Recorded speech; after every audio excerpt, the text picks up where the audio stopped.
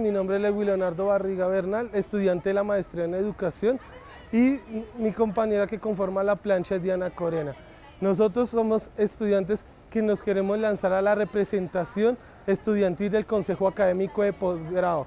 Para esto creemos en la unidad plena, en una plataforma de UPN, un sueño colectivo con los compañeros al Consejo Superior Universitario La Plancha número 2. Primero que todo queremos mencionar que para posgrado nos interesa demasiado cinco propuestas muy claras. La primera, creemos que el reglamento estudiantil de posgrado es un reglamento obsoleto ya que fue aprobado en 1979 y desde tal fecha no se ha modificado. Por lo tanto, proponemos el nuevo reglamento estudiantil de posgrado. Lo segundo, queremos avanzar sobre la financiación para los proyectos de investigación de los distintos grupos de investigación de las maestrías y doctorados de la universidad.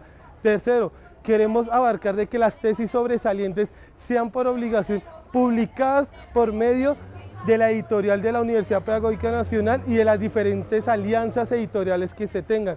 Cuarto, queremos que los estudiantes de la Universidad Pedagógica que se graduaron de pregrado puedan llegar a la universidad, puedan llegar a la universidad a programas de posgrados enfatizándose en, en su continuidad en sus tesis de grado de pregrado.